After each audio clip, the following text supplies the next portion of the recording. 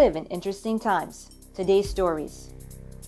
Pro independence protesters demonstrate in Barcelona. Chilean president celebrates ICJ's rejection of Bolivia's bid. Colombia's President Duque signs an anti drug decree. US, Mexico, and Canada agree on a deal to replace NAFTA. Mexico's appointed foreign minister highlights financial certainty after the NAFTA deal. Plus, saving Hartley House.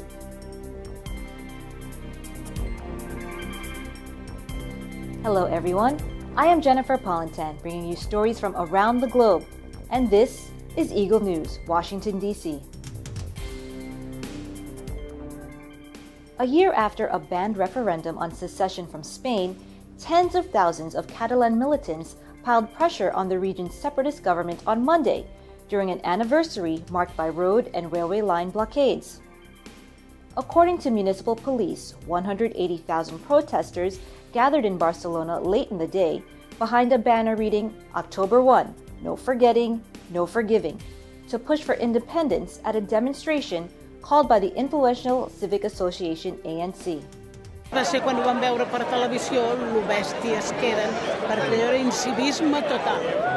Però per part d'ells, perquè nosaltres... Millor aquí per reivindicar que el dia 1 d'octubre vam votar, que va servir d'alguna cosa, perquè hi ha molta gent al carrer des de llavors, i també, per últim, però no menys important, per als presos polítics que són a la presó injustament. Home, estem una mica ara decepcionats últimament perquè pensem que, que falta fer aquest pas final i ara mateix estem en un punt que, que veiem que no, no s'està tirant endavant i està tot molt paralitzat i el poble està esperant d'això, una empenta.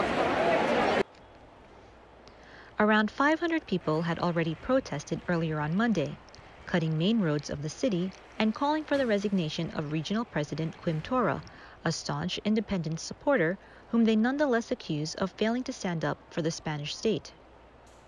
Early in the day, several hundred members of a radical group called the Committees for the Defense of the Republic, or the CDRs, many covering their faces with scarves, had occupied high speed railway tracks in the northeastern city of Girona, briefly blocking service between Figueres and Barcelona. Central streets in Barcelona and Lleida were blocked, as was the AP7 motorway of South Barcelona and the A2 that links the city with Madrid, Catalan TV images had showed. Activists swarmed into Catalonia's regional government building in Girona and took down the Spanish flag that hangs out front, replacing it with a red, yellow, and blue separatist flag. The CDRs tweeted, quote, A year ago we voted for independence. Let's act, unquote.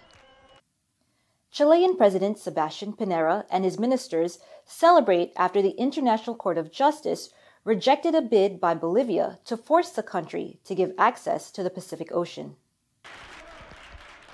His remarks were applauded by triumphant officials and political leaders who gathered at the presidential palace in Santiago to follow the reading of the 12 to 3 verdict by judges at the International Criminal Court in The Hague. Es un gran día para Chile, pero también es un gran día para el derecho internacional, para el respeto a los tratados internacionales y para la sana y pacífica convivencia entre los países. La demanda establecida por el gobierno de Bolivia nunca tuvo ningún sustento, ningún fundamento, ni de carácter histórico, ni de carácter político, ni de carácter jurídico. Y por eso ha sido íntegra, total y categóricamente rechazada hoy día por la Corte Internacional de Justicia. El presidente Evo Morales de Bolivia ha creado falsas expectativas a su propio pueblo y también ha creado grandes frustraciones a su propio pueblo. Y además nos ha hecho perder cinco valiosos años en las sanas y necesarias relaciones que debe tener Chile con todos los países vecinos, incluyendo por supuesto a Bolivia. La Paz took Santiago to The Hague in 2013 over its bid to regain access to the sea, a long running strain on relations between the two South American countries. Bolivia lost its route to the sea in the 1879 to 1883 war with Chile, and Santiago has rejected every attempt since by its smaller and poorer neighbor to win it back. President Ivan Duque signs a decree to crack down on drugs in the world's biggest cocaine producing country, Colombia. Nosotros como colombianos no nos podemos sentir ni cómodos, ni mucho menos complacientes, ni mucho menos tolerantes con una situación de aumento del consumo en las ciudades. No estoy de acuerdo con el decreto porque no resuelve el problema de fondo. El problema es el narcotráfico, quienes producen la droga y no quienes la consumen. El problema de Colombia es que como en el exterior están atacando al narcotráfico, entonces los productores de droga aquí en Colombia...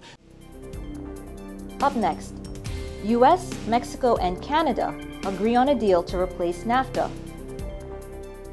Mexico's appointed foreign minister highlights financial certainty after the NAFTA deal. Eagle News, Washington, D.C. will return in a moment.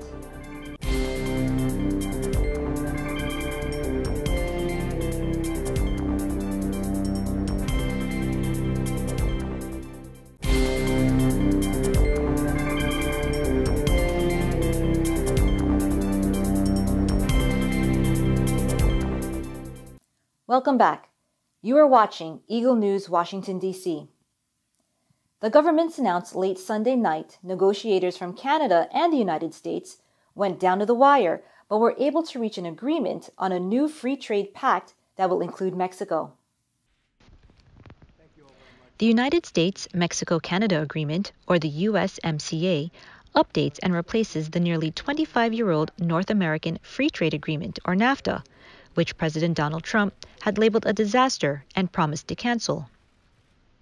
According to the statement from U.S. Trade Representative Robert Lighthizer and Canada's Foreign Affairs Minister Chrystia Freeland, the rewrite, quote, will result in freer markets, fairer trade, and robust economic growth in our region, unquote. Mexico's future foreign minister said on Monday Mexican President elect Andre Manuel Lopez Obrador has given his blessing to the new U.S. Canada Mexico trade deal, as officials indicated it would be signed just before he takes office. Mexico's current economy minister Ildefonso Guajardo told TV network Televisa Mexico wants the deal. Known as USMCA, for United States Mexico Canada Agreement, to be signed on November 29th at the G20 meeting in Buenos Aires, where the three countries' heads of state are all expected. That would be just before Lopez Obrador takes office on December 1st. The anti establishment leftist had been critical in the past of the trade pact's predecessor, the North American Free Trade Agreement, and all three countries rushed to conclude the update before he came to power. But since winning the election on July 1st, Lopez Obrador has been more pragmatic on Mexico's crucial trade relationship with the United States, the destination for more than 80% of Mexican exports. Marcelo Ebrard, Lopez Obrador's pick for foreign minister, said the new deal reached on Sunday provides certainty to financial markets and supports investment and job creation in our country. En ese sentido, el objetivo fue desde el principio mantener la unidad de la región mediante un acuerdo trilateral en el cual Canadá continuara siendo socio esencial de México y los Estados Unidos. Con el anuncio de la conclusión de las negociaciones entre Estados Unidos y Canadá, se ha alcanzado esta meta. La culminación de este proceso de renegociación propicia certidumbre en los mercados financieros e inversión y creación de empleos en nuestro país. El presidente electo ha seguido con toda atención el desarrollo de las negociaciones y seguirá atento a la culminación de este proceso. He said Lopez Obrador's key demand had been met respect for the sovereignty of the Mexican state, particularly over its energy sector. As for the concessions made by outgoing President Enrique Peña Nieto's government, including stricter rules of origin on the amount of North American content required in the auto sector and the wages of those workers must earn, he said the new government would seek to offset the adaptation challenges with a new active industrial policy to strengthen the internal market. Lopez Obrador's transition team played an active part in the homestretch of the negotiations to update NAFTA, helping seal a US Mexican deal and then pushing for Canada to be kept inside as well. Peña Nieto, who is set to sign the deal along with US President Donald Trump and Canadian Prime Minister Justin Trudeau, for his part hailed it as the achievement of what we proposed from the beginning a win win win agreement. Guajardo, his economy minister, said negotiations had held firm in the face of Trump's threats to axe what the U.S. president called the worst deal ever signed. He said the Trump administration thought they could do and undo a lot of things without really understanding the benefits. They were thinking the unthinkable. Fortunately, that rhetoric diminished over time. Coming up, Saving Hartley House.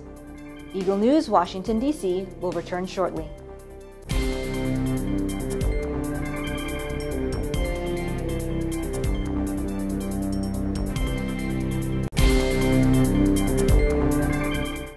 This is Eagle News, Washington, D.C., and I am Jennifer Polintan. A community unites to save Hartley House, an institution that has been helping people in the neighborhood for over 100 years. Eagle News junior correspondent Noah Edralin with the story. We're at Hartley House in New York to hear about a big announcement for the community.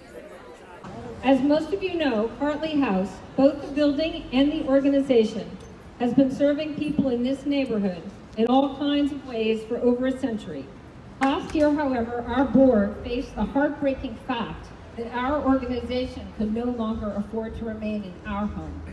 The time and expense of maintaining these very old buildings was simply more than a small, independent organization like ours could manage. We had to choose between serving the buildings and serving our clients, and so we made the agonizing decision to sell. But then, a miracle happened.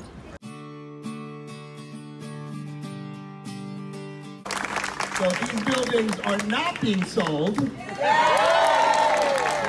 buildings are staying in the community. So Hartley House will become a combination of community service, so social services, and affordable housing. As borough president, I unfortunately see other nonprofits who do not come together as Hartley has with Joe jurisdiction, with the community board, the speaker, elected officials, and with Hudson Guild. And I hope that other nonprofits in the city look to this and say, we need to do the same thing. So congratulations. Today's a really good day because we're saving Hartley House, which you know is so important for young people and for people of all ages. So today the community came together to save this amazing organization. It's been here since 1897 and we are so, so proud that we're able to keep this invaluable community resource in the community, helping Hell's Kitchen for generations to come. So today's a good day. I'm excited. I am super excited. It is such a blessing to be back in the community where I grew up, where I went to school, and my children came here and grew up here and attended programs. So it is such an honor, and I am excited to celebrate and be here for another 120 years. Thank you. so much. Thank you. I'm Noah Edralin, reporting from New York, and I'm one with 25. What a heartwarming story, Noah. That is today's Eagle News Washington, D.C. Join us tomorrow for stories that matter to you. Visit our websites at eaglenews.ph and eaglenewslive.com. Like us on Facebook and follow us on Twitter at twitter.com slash eaglenewsph. Thank you for watching. I am Jennifer Polintan and I am one with 25.